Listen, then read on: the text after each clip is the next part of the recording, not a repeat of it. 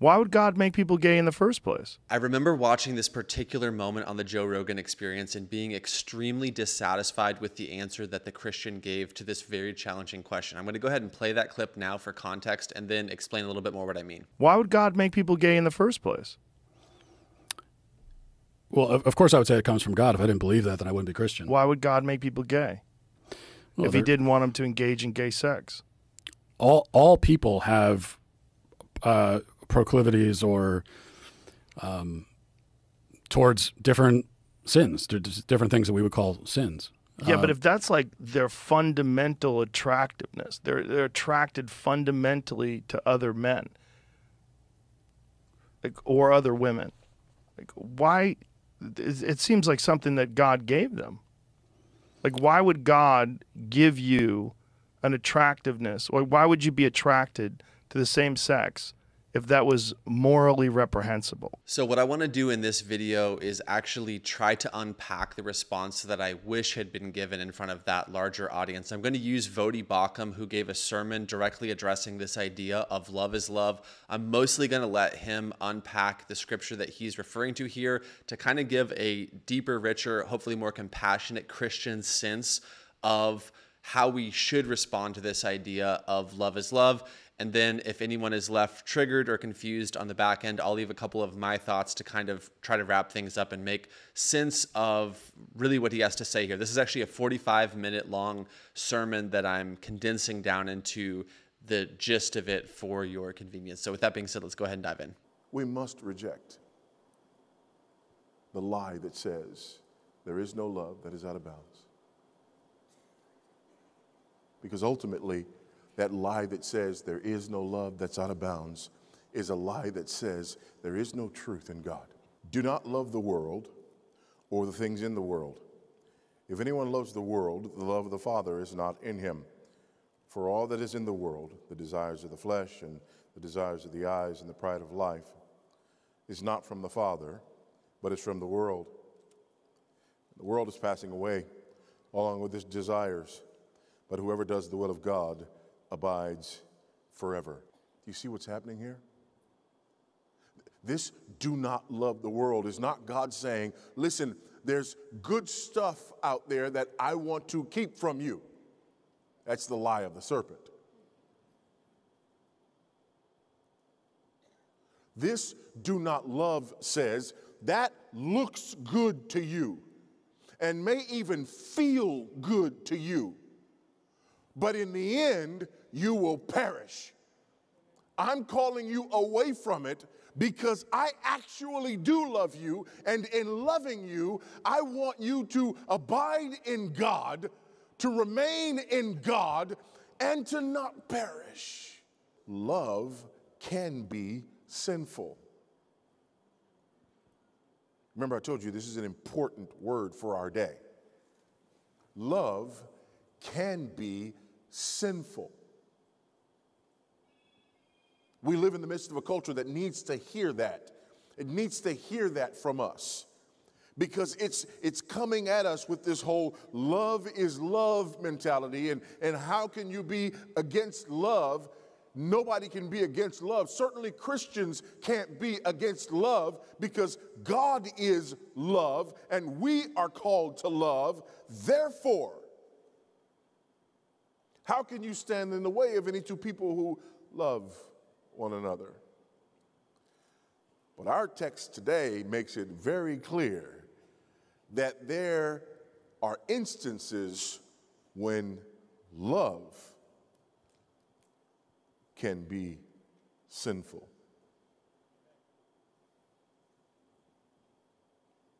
In other words, this is more than just a theoretical, theological discussion for us to have. This is a very practical, rubber meets the road issue. This issue of love being sinful. The question is what makes love sinful? What could possibly make love sinful? Under what circumstances would love be considered sinful? Well, first of all, love becomes sinful when it is directed at the wrong object. Love becomes sinful when it is directed at the wrong object. Look at verse 15. Do not love the world or the things in the world. If anyone loves the world, the love of the Father is not in him. Do not love the world. Now, it's very important to note that this word world, especially in Johannine literature, is used in at least three different ways. First of all, the world can refer to all creation. We see this in John 1, John 3, John 4, John 6, John 7, John 8, over and over again.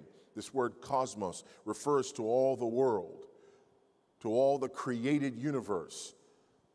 John is not saying here that we should not love this universe, this world, this earth that God created. That, that's not what's being said here. Secondly, the term world refers to the people that inhabit this world that God created. And God is not saying, do not love people, do not love mankind. Absolutely not. We, we, we, we know that it doesn't mean that. Because the love that we're called to give, even to our enemies, the, the great commandment love the Lord your God with all your heart and love your neighbor as yourself. So John can't be talking about that first world here, and he can't be talking about that second world here. That would be a contradiction. However, there's a third use of the term world. And that third use refers to the spiritual realm that is in opposition to God and in rebellion against his kingdom. It is that third sense of world that is being discussed here. So when John says, do not love the world, he, says your love becomes sinful when it's directed at that system that is anti God, that system that is anti kingdom, that system that is satanic. Love becomes sinful when it arises from the wrong source.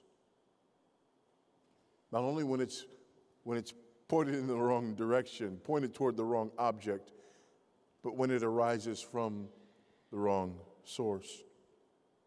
Verse 16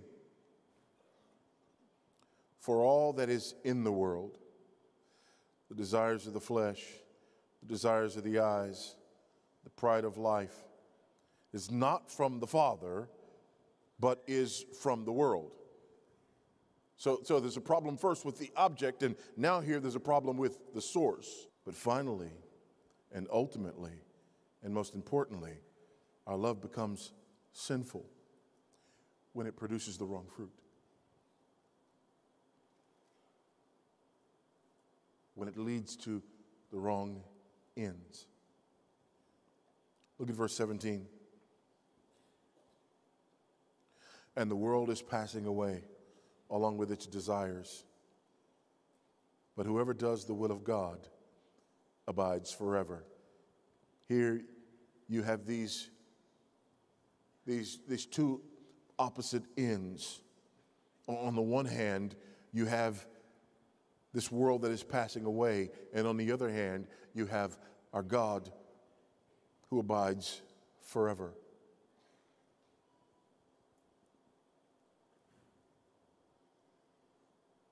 Love becomes sinful when it leads to wrong ends and produces wrong fruit. Our passions become sinful when they are pointed in directions that lead to death and destruction, as opposed to leading to life. The poignant way in which this is so pertinent to our times because of the love is love crowd, particularly in the area of same sex marriage.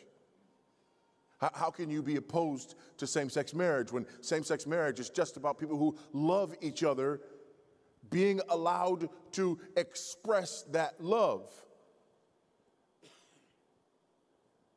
But that's a love that's pointed at the wrong object.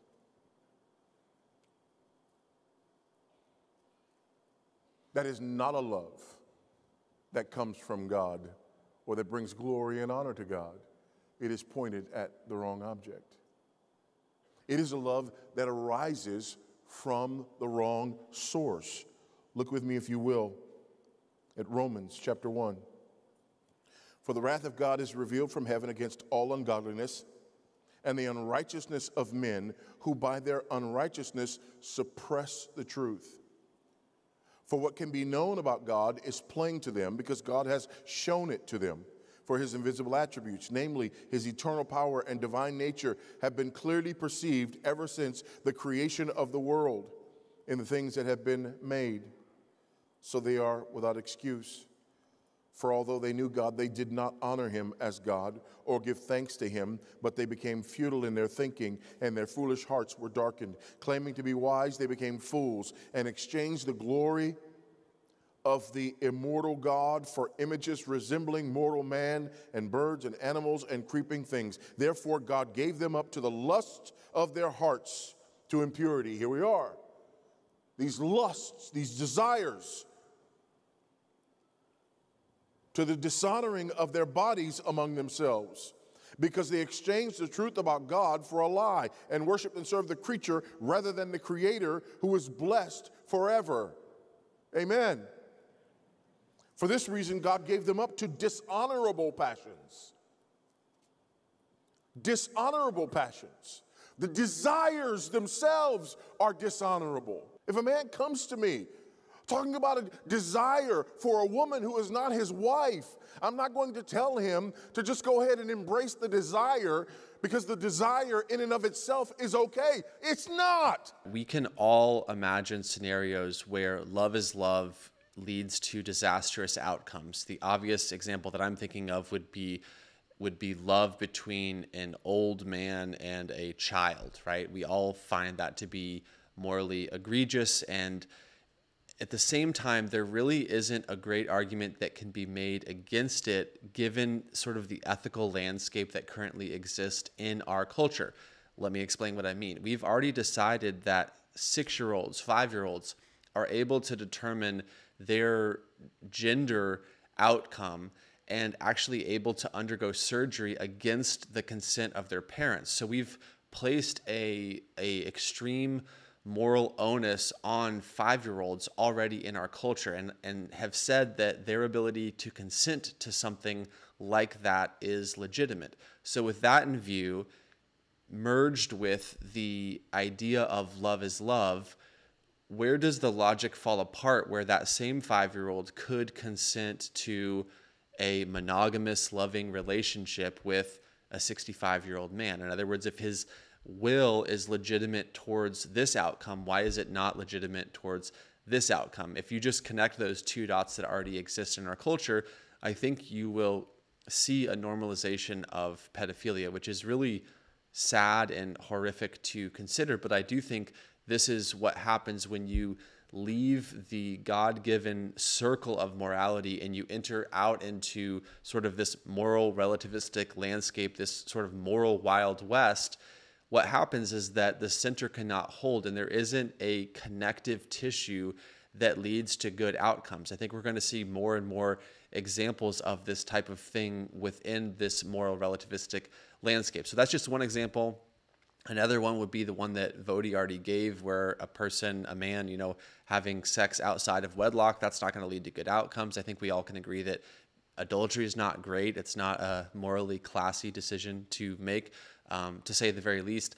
And I think we can think of a lot of other examples of things that we all agree are a version of love and yet a perverted, debased version of love that's going to lead to a negative outcome for the individual and in society. So then the question really becomes um, not whether or not that's possible, but whether or not same sex attraction or same sex love falls into that category. So from a biblical perspective it does and obviously you can you know disagree with that perspective but i think the broader point that voddie is making here that there is a acceptable and an unacceptable way of understanding knowing and manifesting love proving the point that the mantra love is love is just wrong on its face and more than wrong actually i would say dangerous in that again you can see the slippery slope that it creates leading towards more and more risks for even children. So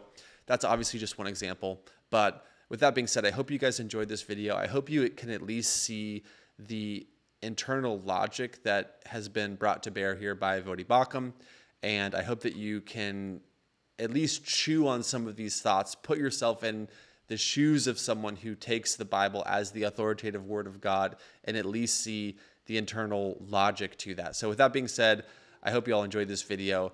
Share this with someone who needs to hear it. Thank you for watching, and I'll see you guys in the next video.